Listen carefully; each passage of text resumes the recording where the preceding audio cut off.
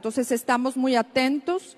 En Nuevo León hemos recibido reporte de cuatro pacientes en nuestras diferentes instituciones públicas y privadas, hasta el momento todos estables, niños de diferentes edades, los estamos monitoreando para evaluar cuál es el, la evolución de ellos y posteriormente poderles compartir la información más completa. Y no quiero terminar